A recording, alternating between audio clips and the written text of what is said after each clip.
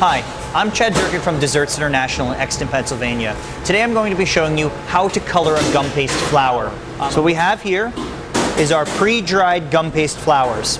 Okay, these are ones I made. Um, I usually make them in a generic white, and then based on the client's need, I'll color them accordingly.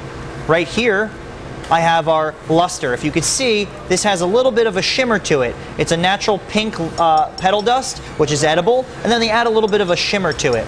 Um, and that kind of gives you a nice little glisten to the flowers. Um, that normally, you know, something like this is matte, and then you have a nice little glisten. Even something like that has a little bit of finish to it. Uh, this kind of gives it just a little bit more aesthetics and such, but it all based on your client's wants and needs.